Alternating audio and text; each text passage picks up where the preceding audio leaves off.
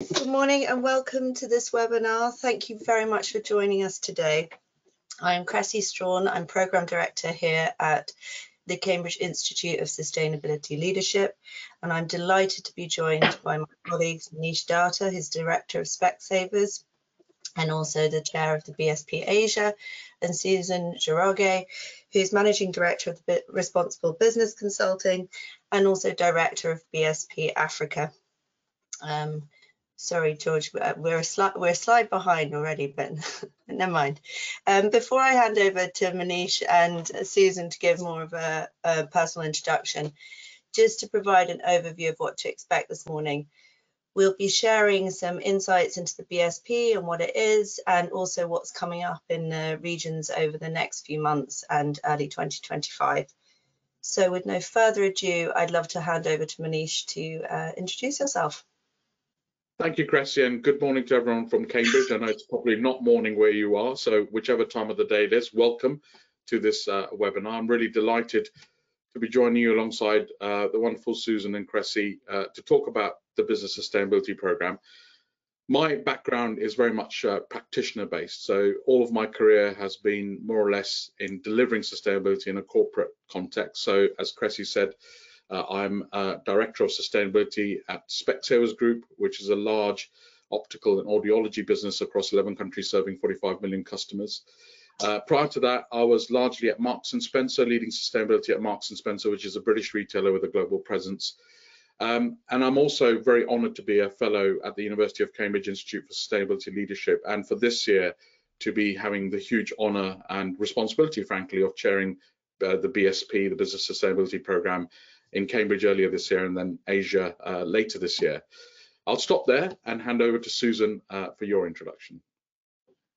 Thanks, uh, Cressie. Thanks, Munish. Hello, everyone. I'm Susan Njoroge, and I'm based out of uh, Nairobi, Kenya. Um, like Munish, I'm by background, I'm a sustainability practitioner. I've mainly worked with uh, different multinationals uh, DHL, Unilever, Standard Chartered Bank, and in different markets across Africa, Asia, and in Europe. Um, and a few years ago, I decided to move into independent consulting, which for me felt like an opportune way to, um, yeah, help more organizations in this part of the world, especially, you know, build momentum and understanding around sustainability. I'm also a CSL fellow and the chair or program director for the inaugural BSP Africa that will be happening uh, early next year. So it's great to be here with you. Thanks, Susan. Very exciting. Um, so just uh, it feels appropriate to firstly welcome you to the University of Cambridge.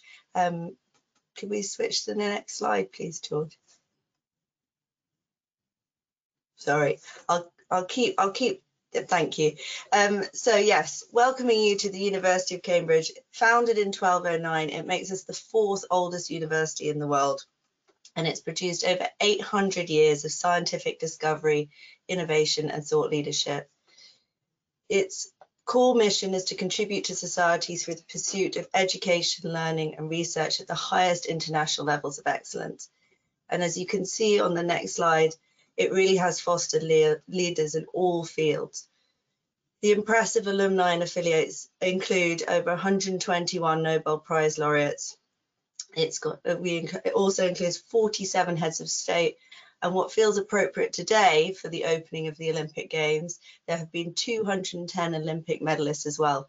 So it really is safe to say that we feel like we are sitting in the centre of um, academic excellence.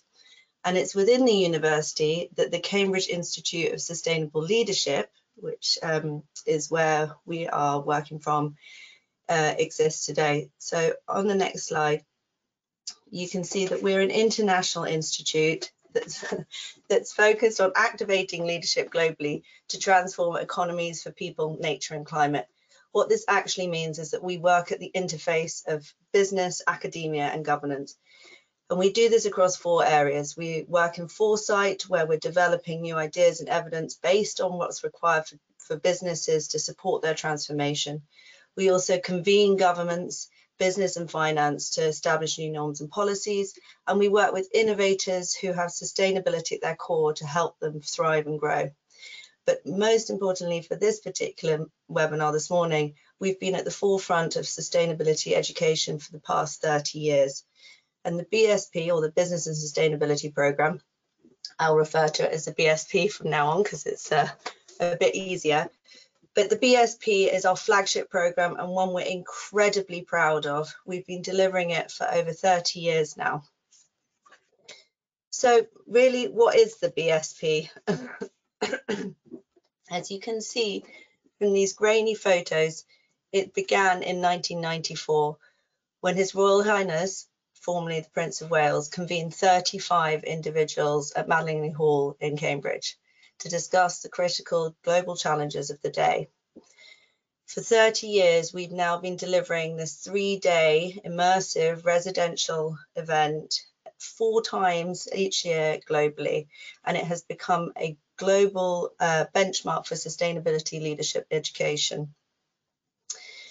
In 1994, when they met, the key message that emerged from the first seminar was that sustainability was predominantly environmental and actually to the responsibility of governments to manage. I'm thrilled to say that we can recognise that this narrative has moved on since then. And in fact, we've seen a lot of prog progress in this field. The conversation and narrative has now widened to include social aspects of sustainability, but most importantly, we've seen huge, huge gains in international treaties such as the Kyoto Protocol and also uh, the Paris Agreement emerging from COP21 trying to curb emissions. But despite these advances, we also recognise that we're still facing an ecological and climate crisis. There's challenges with social justice and social inequality, and all within a divisive geopolitical landscape. At CISL, and as you may have seen from the video from Lindsay at the start of this webinar, we have been thinking hard about what leadership is required to take us through this new turbulent era. And it's within this context that we're delivering the BSP today. So what makes the BSP so special is its rich heritage and that year on year we are constantly thinking about how to keep the core curriculum global uh, sorry core global curriculum relevant compelling and also most importantly impactful so on the next slide we just i just like to explore uh, really from our opinion what makes the bsp so special is it has a unique course design. We are designing a program that is, that that apologies, I'm just going some water. So we're, we have a unique course design that explores the strategic importance of global challenges and trends. And in fact, our core curriculum has some key ingredients in it that enables us to help support business leaders navigate the complexity, ambiguity of the time, but also enable them to, to take shape and, and shape the context in which they want to thrive as leaders in the future. So what are these ingredients? Firstly, we develop a mindset of system thinkers. So it's not just how the look how the world looks like through an environmental and social and nature lens, but how these interconnect and what's the scale and pace the world is changing at. Secondly, we'll distill these down to the regional and how this manifests materially across different sectors and for specific businesses. So bringing in case studies from businesses who have, who have been navigating this path for a while now, not necessarily as a blueprint of success, but in order to share with delegates and understand some of the challenges and obstacles they've overcome to make progress. And thirdly, we'll be looking at the leadership required for the future we want.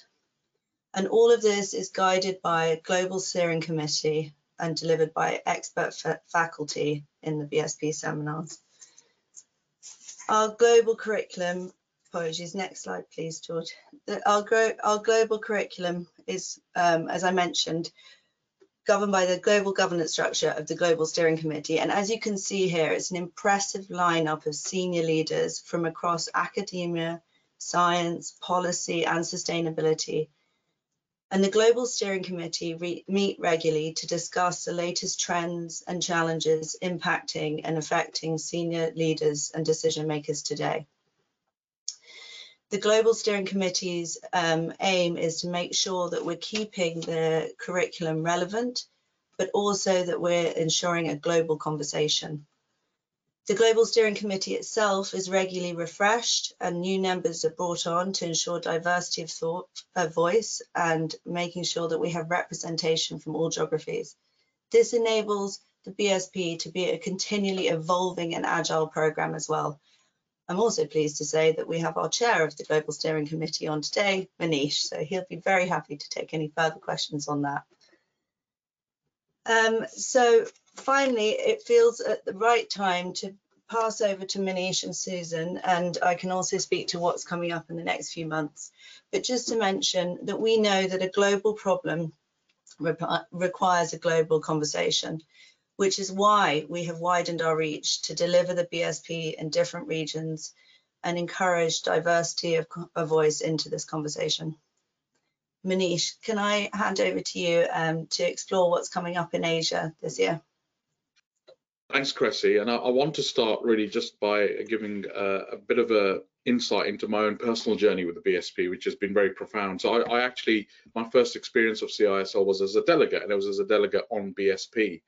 Uh, and that was uh, had a very, very poignant, um, poignant influence on me at that time in my career, about 12, 13 years ago, uh, when I, I, knew something about sustainability. I was at Marks and Spencer at the time, but this program over the three and a half days was a moment of great epiphany. It enabled me to turn my uh, interest and my passion into uh, to give me the knowledge, confidence to turn that and activate that in my business. And that's exactly the journey that delegates on this program go through over three and a half days and indeed beyond that as well. From that, I became a contributor, came and presented sort of uh, case studies uh, around uh, how you know businesses trying to adopt sustainability, integrate sustainability, and and then as faculty, and now the honour of being chair in the programs and leading the program. So that's my personal journey. It's a very 360 degree journey off BSP. I've enjoyed it very much. I, I, I continue to learn in every program I'm I'm um, I'm privileged to be part of. Now, before we go into the differences about the Singapore program coming up in October uh, this year um, for BSP Asia, I want to just quickly touch on the similarities. So the soul of BSP, whether it's delivered in Cambridge, in um, Africa, as we'll soon hear from Susan, or in Asia, is the same. It's based firstly on kind of a, a co-created process. It's a third of formal teaching or presenting or knowledge exchange, whatever you want to call it, a third of working in small syndicate groups with uh, a faculty member facilitating those, and a third of the time spent on what I call informal learning or the fringe BSP, which is learning peer-to-peer -peer, in breaks, over dinner, where actually some of the most powerful uh, conversations sometimes happen. And the pedagogy is as Cressie has described, that remains the same. It's about thinking about the big forces rapidly shaping our world our society, our economy, and business. And the importance of thinking in systems, thinking about not shareholders only, but stakeholders uh, in that system, thinking about the value creation more broadly than just for financial business purposes, but for nature, for people, and therefore then for the economies. And it brings in concepts like being purpose-led as an organization and as an individual. Uh, and, and it showcases that organizational sustainability in practice um, including innovative solutions such as artificial intelligence and others like that. And of course, it dwells on, at, towards the end of the program, the last day, the personal leadership that's needed to activate all of this. So I really like that sort of, that it's learning from each other. It's very much a knowledge exchange. It's very practical. It's very helpful in that sense. And that's helped me time and time again in my, in my career, continues to every day. So what about Singapore? What's different about Singapore? Well, the first thing is it's it's um, we are really harnessing the expertise that's locally based there, and particularly practitioner expertise. And we have a very knowledgeable faculty. So just to explain to people what faculty is, faculty are the people that remain with the program throughout its duration. Uh, contributors come in and out of a program. That's the that's the difference. So the faculty that we have in Singapore are all based in, in the region and I'm delighted that we're joined by Jason Pomeroy, a celebrated architect uh, working in the built environment, not just in Singapore, actually globally.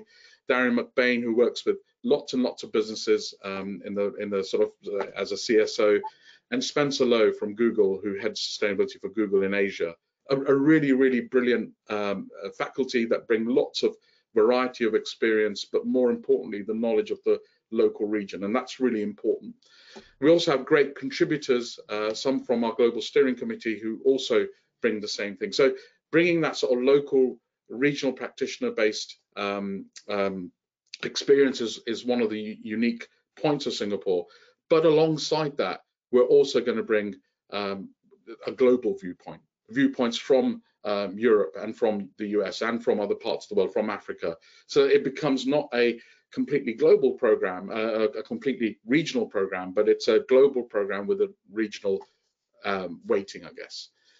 And um, and some of the things, the content that we will be probably dialing up slightly, taking into account the regional context, is talking about nature and ecosystems, is being sensitive around social topics in terms of just transition and inequality, celebrating Asia's powerful and rising powerful influence in terms of it being the world's supply chain, the size of its growing consumer markets, the abundance of talented young human resource, of innovation and technology that's coming from there. It's very influential diaspora, the, the export of its human capital in other parts of the world.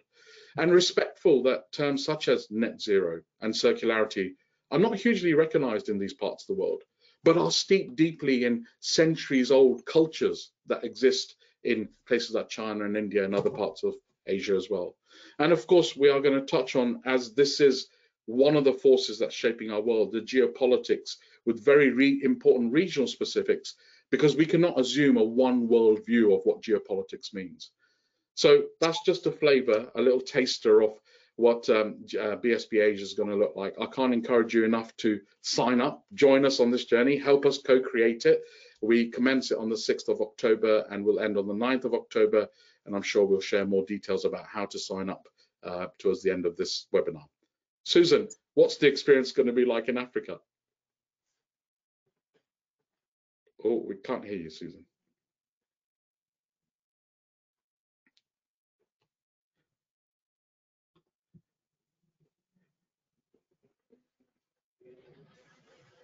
No, still not.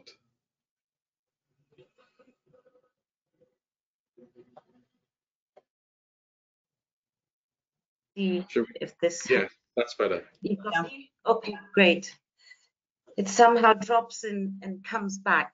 Um, but thank you for that, uh, Munish. Um, yeah, the Asia program sounds really exciting. Um, for for the Africa program that's going to happen in in mid March, I think just to just to the points importantly that Christy and Munish have highlighted, the BSP in Africa is still the same amazing global program, um, but delivered in an Africa and developing economy context, which I think is um, an ex extremely important lens to look at when you understand what developing economies are like and how sustainable development and sustainability leadership needs to look like for this continent.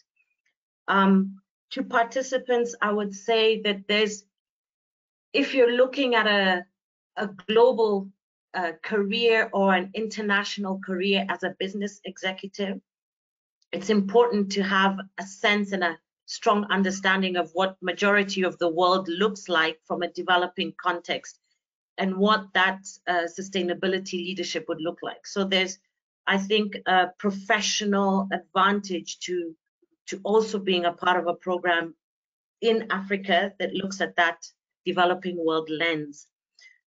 Africa is such a huge continent. It's plus 50 countries, you know, over 2,000 languages and cultures.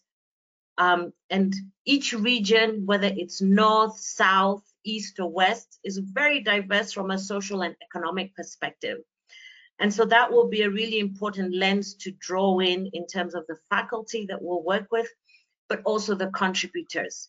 Um, the fact that uh, Africa is developing and the stages that we're at, the political economy plays such a critical role and stakeholder engagement. So when you think of sustainable development and when you think of transformational leadership, you've got to be able to have that collaboration in the same way you were talking about Munish in Asia, the political economy and multi-stakeholder partnerships, I think is going to be an important part of the of the Africa program. And then to the nature and people question, I think when you when you look at our context of Africa, it's impossible to separate the two. Uh, nature is a lived experience um, for so many people on this continent. So that will also be something important that will draw out. And there's the tension as well between, you know, Africa seen as an extractive uh, continent, but Africans wanting it to be an, a value addition continent to them. So there's also the geopolitical tension of where Africa sits in its in its global role now in the you know in this conversation around the sustainability challenges and opportunities. And Munish, you touched on it when you when you referred to the the just transition, um, and I think that's also a very important part of what needs to come through for for uh, the BSP and the lens of society. Fundamentally, so many people on this continent are struggling with the basics: food, health, um, electricity, poverty, etc. So when we think of sustainability and when we think of transformational leadership, it's got to be leadership that's supporting these countries to lift billions and millions of people out of poverty, but at the same time, do a low carbon industrialization economy, something that's never been done before. So I think it's very timely to have a BSP in Africa because we need a new way of leadership thinking for this continent that's going to to drive the change should be the same models that were that were followed before. So I'll leave it there and yeah, hand over to you, Cressie. Thanks. Thanks, Susan. Thank Munish. They both sound like excellent programs and I strongly encourage you to go and have a look on our website. We'll certainly share details afterwards. Just to note as well, it will between the BSP Africa seminars between 16th and 19th of March 2025. That's correct, isn't it, Susan? Yes. Correct. It's early. Yeah. Um, so just to just to uh, really uh, mention the BSP uh, UK, which will be bringing home to the University of Cambridge in November of this year. It feels um, we're very lucky because we're bringing it back to the city where the atom was first split. The structure of the DNA was discovered, and Charles Darwin um, posited the theory of evolution. So we are it's a unique seat of learning and we're very proud to host uh, the BSP at Cambridge. Um, each BSP, as we've mentioned, retains that core curriculum and the global voice, and we'll certainly be making sure between Munish, Susan and I that we keep the conversation live of what we're seeing from the different BSPs in, in, in Asia and Africa and bringing that um, regional conversation as well. This year, in addition, in Cambridge, we really will be delving deeper into what leadership for a tur turbulent world looks like. Uh, we'll be drawing upon some of CISL's own frameworks, such as the leadership framework, and bringing in contributors such as Zoe Arden to talk and talk us through and really interrogate this in the room. Uh, we'll also be taking a specific nature focus this year in line with uh, the current urgency on businesses to think about taking nature positive action and of course, much wider conversations will be set within the recognition of the increasing regulatory burden on businesses that's occurring in, in, in the European context too. Um, I think just before I open to questions, I just wanted to share a little bit about what you'd experience as a BSP delegate when we were preparing for this webinar and also as Munish has mentioned, it really is the soul of the BSP and that's that's experienced wherever you would attend a seminar and across the globe. But really we work hard to provide a safe space so that delegates to come together with the uh, expertise and um, other um, academics and scientists in the room to unpack these global challenges interrogate um, what they mean for themselves as leaders and for their businesses, and also talk about potential solutions moving forward. it's a participatory program, so we really encourage delegates to bring them their whole selves and the context of their organisation into the room to maximise the benefits. As Munish mentioned, there's breakout, um, there's small breakout groups, we have syndicate groups, we make space with time with lunches, and we have hearty debates to really challenge one another um, and take that forward. But also as a delegate, you'll make the most incredible connections in the room. Um, and these will far, far outlive the program. We are only too aware of groups and syndicate groups that still meet years on to sustain some of the continual learning and action and, and genuinely hold each other hold each other accountable for what they're doing post BSP. Um, and finally, when you've joined the program, you'll also be a part of the BSP wider alumni network. And just to give you a sense of that, that's over 4,500 senior leaders from about 1,500 organizations across 130 countries. So it's a very global um, and large network to be joining. Then I think that without any further ado, I'd like to open it up to any questions that you may have, unless there's anything else from Munish and Susan to, Susan to add at this point. No, yeah. keen for the questions, I think, yeah. Keen for the yeah. questions, fantastic. Yeah. Um, okay, well, we've, sorry, I'm just having a quick look. Right, well, I think this may be a good one for you, Munish. We've received a question that says, how do you propose to integrate sustainability agenda into the core of business strategy? yeah, it's a great question. And I think the question that I suppose BSP is seeking to answer. And I want to start by uh, the very first part of the journey that you go on when you go on to BSP, which is understanding the context. Nothing operates on its own in isolation. It all operates within a context.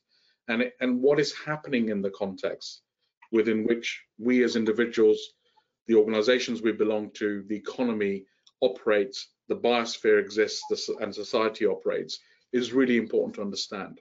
And it's really important to understand, therefore, what's changing in that context, which is happening very rapidly and almost interconnectedly in a sort of systemic way.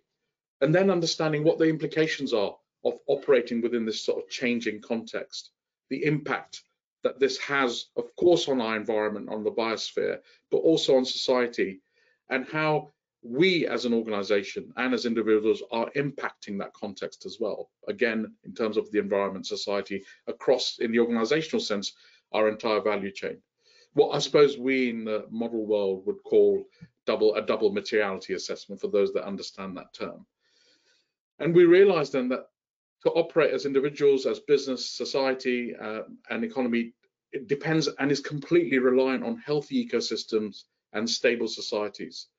So I suppose the big uh, question or the big feeling that we're trying to create is how can you as a leader in your business or organization contribute to creating a healthy ecosystem and stable society? What are the skills, barriers um, that need to be overcome, the mindset shifts that need to happen in your organization and you as a person to enable this uh, this kind of condition? How do we build purpose, awareness, ambition, uh, and activation in terms of leadership? And of course, education around awareness, uh, particularly, plays a very big role in BSP for me as a delegate and for delegates that I sort of work with in our programs. Um, it plays a, a massive role in that. And that can then, that activation then, in terms of integrating it into the business strategy, can turn it into first of all, making bold commitments. But those are not enough. Those are just words, right? It's turning those commitments into roadmaps and action plans, integrated into annual three-year plans, mid to long-term strategy. So that's what I think it means to integrate sustainability into business strategy. And it requires quite a lot of um, hard work that this program hopefully provides us with. Um, it requires quite a lot of focus that hopefully this program adds, act, acts as a catalyst to. Fantastic. Thanks, Munish. Is there um, that we have a question here also, I think that's appropriate for you, Susan. Um, Africa yeah. is a huge and diverse continent. So what makes Kenya a great location for the BSP seminar next year? Great, great question. so um, that's true. It is a very, very wide and different continent. The first thing maybe I'd like to point out is I think uh, um, Kenya has taken a, a leadership position.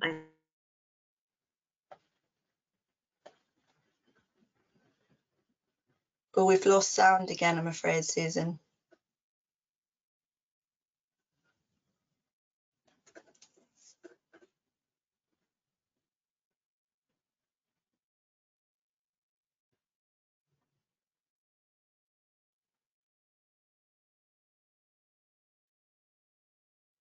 Why don't we Can go you to the next? now?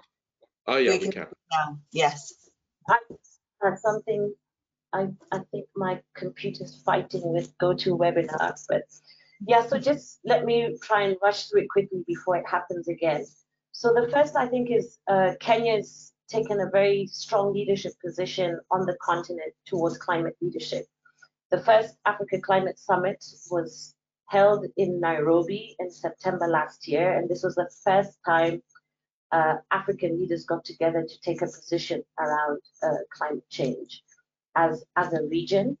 The second one I'd point out is um, that uh, Kenya is uh, now the sort of, you know, Silicon Savannah.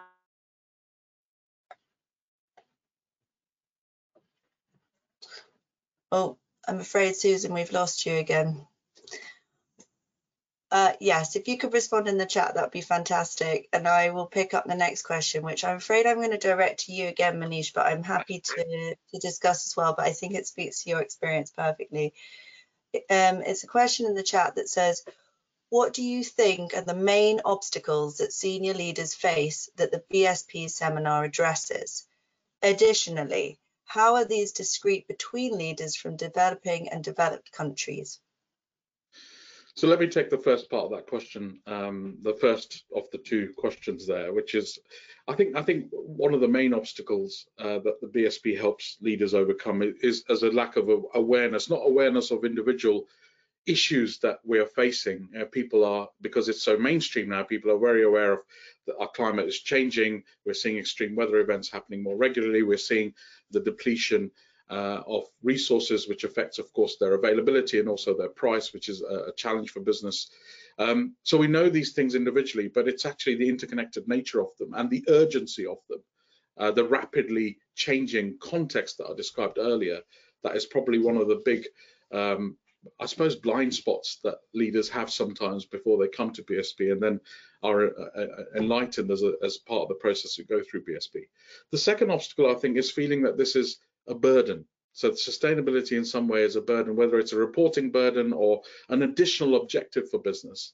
And I hope that at the end of a, a seminar, a, a delegate can walk away thinking this is not a burden. This is actually something that can enable um, a very powerful purpose in my business. This can enable, therefore, a very, uh, um, a very um, our, our, contribution to kind of um, managing that context in a more sense in a more sensitive way. We as a business have influence, we have customers, we have supply chain, we have a, a value chain impact and are impacted by uh, the environment, which we can um, not just mitigate, but hopefully start repairing and regenerating some of the things that are not quite right at the moment. And, and but the key thing is then turning all of that knowledge through the form of learning from other practitioners and case studies, which we've talked about already, both learning from what went well for those uh, organizations and individuals and also what didn't um, into practical activation when you go back to your organization. And you know what? You're not alone in that because you suddenly get this peer group from uh, what I love about one of the things that is amazing about BSP is that we really bring a global de um, delegation together um, and, and from many different sectors, both business, largely business sectors, but also non-business actors as well. And so you get this sort of almost like a, a personal group of um, a net, you build an immediate network that are become lifelong memories over time, a, a lifelong relationship over time. And I think that's incredibly powerful because you suddenly get a peer group that you can uh, test things with, that you can continue to work with in the program and outside the program as well. And I think that's really good. In terms of, you know, the differences of challenges that um, that uh, leaders that come, that delegates, leaders that come from um, uh, different parts of the world face. They are they are different. They're very um, you know there are some very distinct differences. So we know because we can see that some of the extreme weather impacts are happening in sort of the southern hemisphere, the middle and southern hemisphere of the world. They're, they're, happening everywhere in the world. The most adverse ones are happening in that sort of band around that. And leaders in, that come from those areas have to contend with uh, those kinds of challenges on a daily basis more than perhaps leaders that come from other parts of the world. We know that some of the challenge, societal challenges that Susan's already mentioned around just transition, around actually trying to uh, not have just renewable energy, but having access to energy is really important. Not just having, you know, a circular economy, but access to resources full stop is really important. Some of those nuances are what leaders are facing. And then there are demographic differences um, in, in supply chains, in workforces that leaders have to take into account as well. The Asian uh, continents, and I'm generalizing hopelessly here, but just to try and make the point, has a much younger demographic of people that are in the in businesses that have different aspirations that are have different hopes that have different expectations off their employer than people that are, are managing workforces perhaps in in more sort of developed parts of the world like the Europe and the US so uh, I mean this is a, a topic for a whole webinar in itself frankly and I'm not going to do any justice in in two or three sentences but those are the kind of I think nuances that we are we see. But you know what's beautiful about it, Cressie um, and Susan, is that we bring those together, and I'm I'm forever in awe of our faculty who do that in such a skillful way because pulling together a group of six to seven people in in a syndicate group who have never met each other before and getting them to go through this delegate journey um, to, to be open and share with each other, to, to be able to express themselves, um, you know, with psychological safety in such a quick time that by the end of those three and a half days, you're best buddies with each other is a really powerful and very skillfully uh, a skillful um, sort of um, I suppose faculty role. And so I'm very proud and honoured that we work with people that are so experienced at doing that uh, that they can uh, create this community of leaders, community of learners, community of activators. Thanks, Munish, and you're absolutely right. And I think it's safe to say we've often witnessed the most unlikely of alliances um, forming in the room where they would ne wouldn't necessarily consider themselves um, friends prior to the BSP, but they've certainly left uh, left as firm friends after. So um, that's fantastic. And I think you may have covered a little bit of this other question that's come in that I'm, I'm happy to take, which is that is the agenda the same for each region? And I say you covered that slightly in the sense that um, talking about the slightly regional differences, it's important that we um, that we keep, as we mentioned before, that the BSP is a global program. It's a global conversation, and the core curriculum and the um, key elements that we keep the same around the systems thinking piece um, and setting that kind of global landscape is absolutely the same. The agenda itself will be adjusted slightly for each BSP seminar and where it's delivered, but based on that core curriculum and then there may be deeper dives into um, issues or challenges or themes that articulate in the different regions. But as I also mentioned, Munish, Susan and I are also working hard to build an agenda for this year that also incorporates and feedback what we're hearing from the different regions as well. So that will be informing and updating and evolving the BSP as we move along. But just an answer to that, the agenda is based on the same curriculum, but it will be articulated slightly differently in each region. But you would expect the same experience as a BST, BSP delegate wherever you attend. Tracy, can I just may I just be uh, add something to that? I think what also makes the content different is is the fact that we recruit local contributors, a locally based faculty where where possible, um, and they bring the local regional expertise into the room um, and the case studies that are most relevant to that region. So whilst, yes, you're right, the agenda, the pedagogy, the, the learning experience, the, the learner journey is, is very similar. what makes it so different is, is the contribution uh, locally that makes it quite different. But bringing yeah. those global perspectives into the room as well. You're absolutely right. And I have to say also the other thing that makes it slightly different to the delegates themselves attending as well, because that of course will shape the conversation and where it goes to and some of the challenges they're facing. But absolutely, thank you, Munish. Um, we've had a question here that's um, slightly um, different. I'm not sure which one of us will pick this up, but perhaps we could all um, have a conversation together. But it feels like it's within your remit, Munish, as well. Yeah. Um, who should be made responsible for sustainability leadership in a big country like India? Yeah, so uh, a little bit the same scale as Susan answered. Uh, to generalize India as a, as a country is probably very unfair to its diversity and its sheer scale.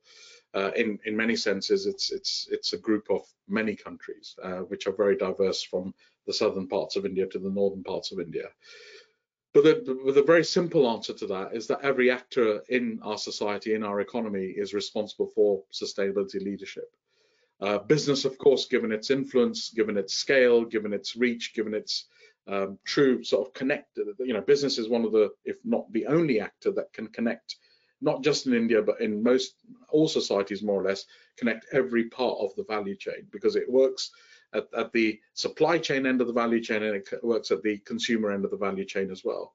And so as a connector, business has a huge responsibility and opportunity to be a real change agent in terms of sustainable transformation.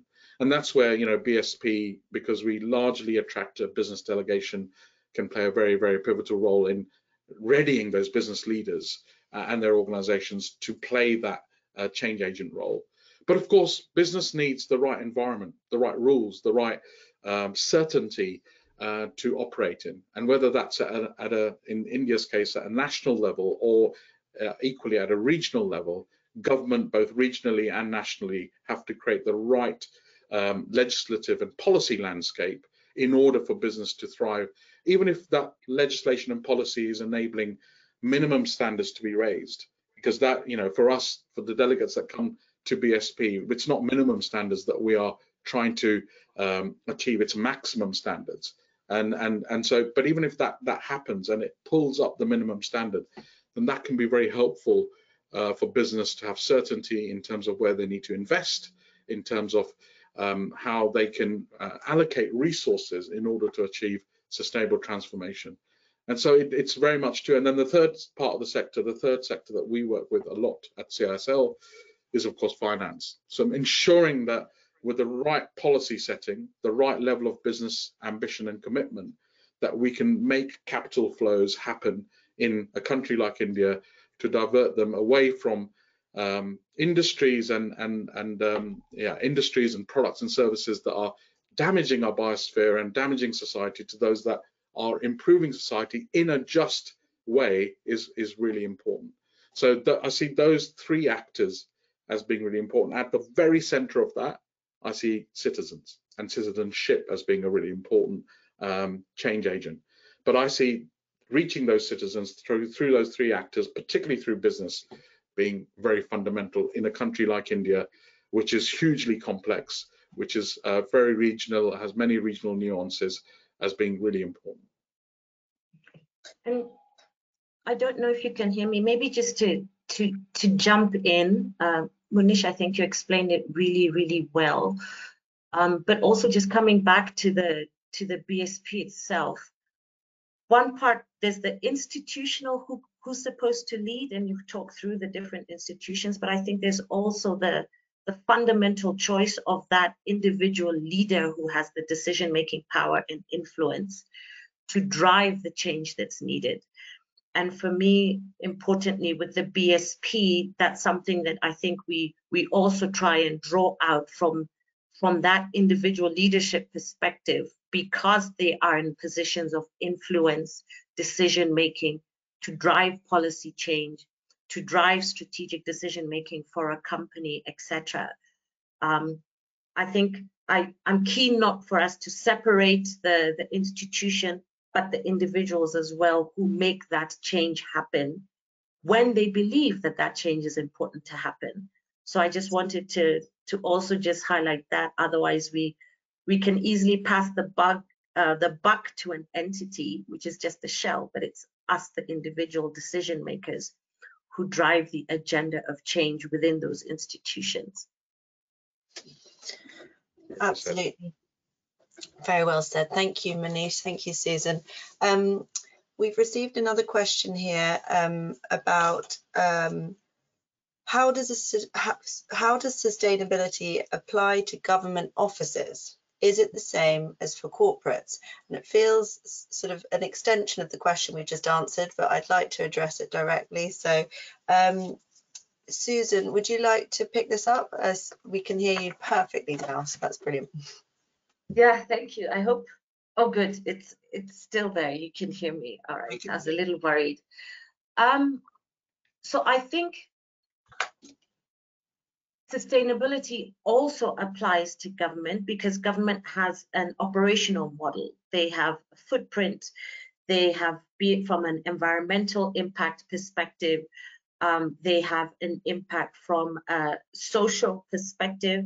And then, of course, there's the influence they have around policy. So I would look at it from both sides to say, from an operational model, um, government have a sustainability impact? What is their, you know, contribution to emissions? How they treat their people? Um, how they integrate, you know, fair pay, diversity and inclusion, etc. The same operating business model challenges, I think, as a, a business would. Um, and then they have influence on citizen and other institutions through the policy making and implementation that they're able to do. So it may not be a profitability revenue generating model like a company is, but they still have an operating model that needs to manage and, you know, its impacts. Ideally, then also from a policy perspective um, and the work that they do as government to then put in place policy that proactively support the change that's required in society and by institutions is how I'd answer the question. Absolutely, and and I think that that's fantastic. And I think also when we think about the BSP and who um, the delegates that come to this and the conversations that arise, recognizing where there are policy gaps and and having those conversations between businesses and government to understand how do we set policies for the future to improve, um, you know, from the environment for the betterment of society and really think through that strategically, but in a very proactive way as well. Um, sorry, Chris, it, yeah, it reminds me of a concept that I came across and we often talk about at BSP, which is called the ambition loop, which is this positive feedback loop in which bold government policies and private sector leadership kind of reinforce each other uh, and together take climate action or social action to a, a new level. So let me give you an example. If, if government creates clear, ambitious targets and policy and predictability in those, then that encourages strong, ambitious, science-based commitments and action from business. And in turn, that then gives governments confidence to continue doing that, and in turn gives business confidence to continue acting in that way. And it's those positive ambition loops, particularly um, in a kind of multidisciplinary, multi-sector gathering like the BSP, that we try and create so that we understand the system, the actors in the system, and how they can positively influence each other. And I think that's really critical output, really, for me from BSP in terms of how government and business can work together. Thanks, Munish. That's um, that's absolutely. And I think what's interesting, I was thinking in a context at the moment where there's so much ambiguity and unpredictability often, the BSP does offer a space to come together and find that um, find that even balanced and credible ground. So that's why we're bringing in faculty. We keep returning back to the science and um, informing the conversation from a uh, a very measured and reasonable and considered um, debate as well. So I think it's really important that that's that's the place that we create in the room to have those conversations and form those connections too. Thank you. Um, I realise I'm just looking at time. We're we're coming to the end of the webinar now, so I would encourage anyone who hasn't asked a question, um, please do so in the chat. We can probably take um, a couple more. I've got one here that's um, fairly operational, which I'm happy to answer about how to apply for the BSP.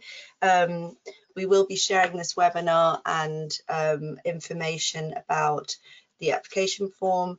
Um, it says in the second part of the question, what is the selection process? Um, we do have a uh, we have an application form as I mentioned. We have a selection panel. Thank you, George.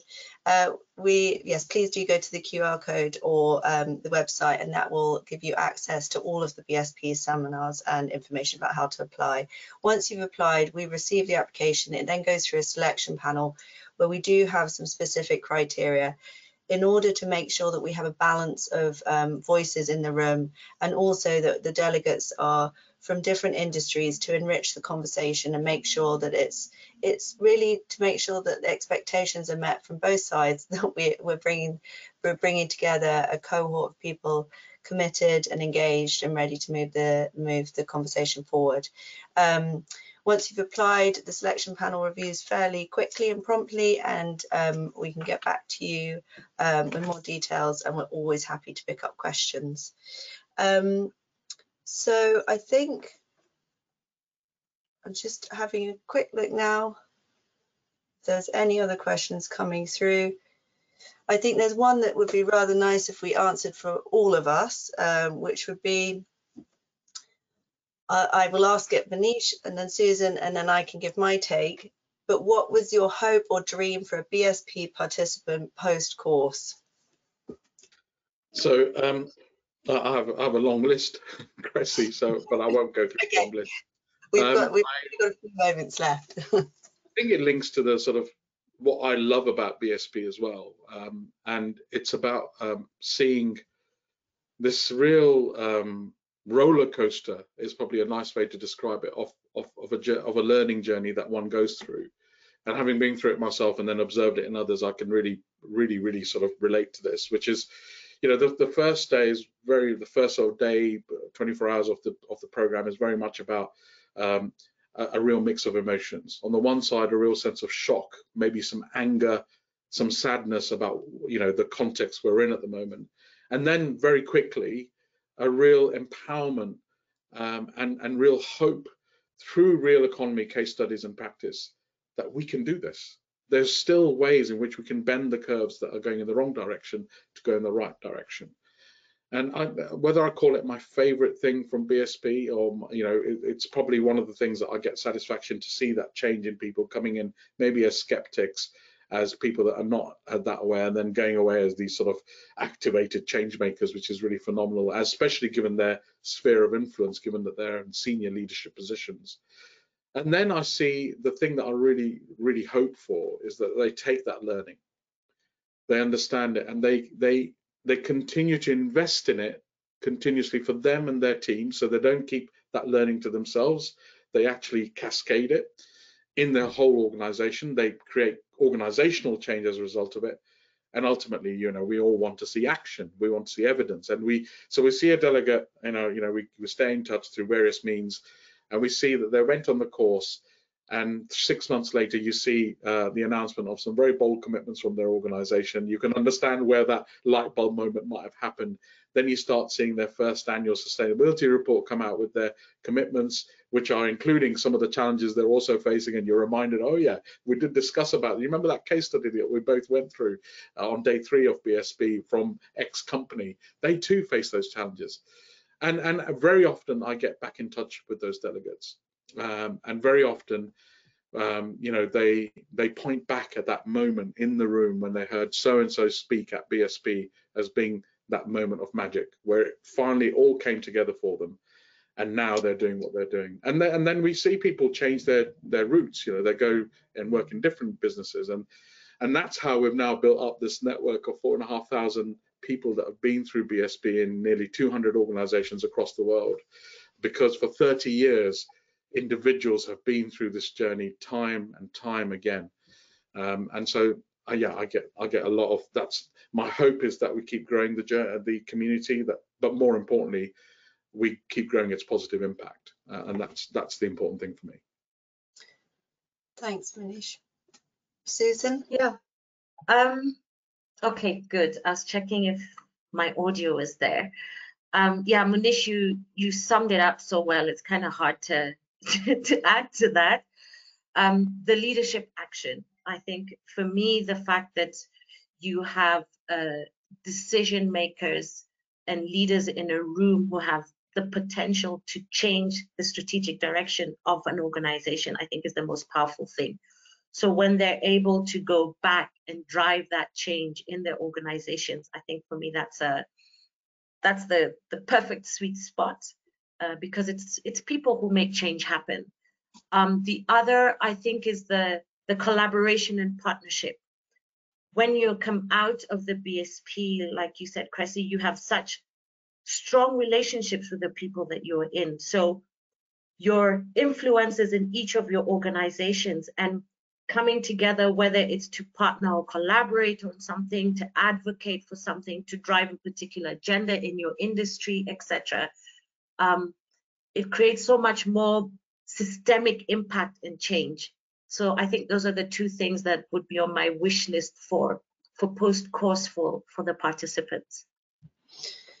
Thank you. It's impossible to follow you both, but really just to build on that and um, sort of, I guess, sort of put my own to this. It's a, I feel like there's a, as a, as a program we want to inspire leaders to take action and to to build on both of what you're saying. I feel like it's also about we want them to go away and feel empowered and equipped and use that learning and knowledge to take it forward and realize also that with that enormous community now, you're not alone in doing that, but actually embracing that change, embracing the ambiguity and the complexity moving forward and feeling that you're actually equipped to be able to do that to move move the agenda forward as well. So I think um, we're at the top of the hour. I cannot thank you enough for all joining us this morning. If you have any other questions, please do contact us. We're always happy to pick them up.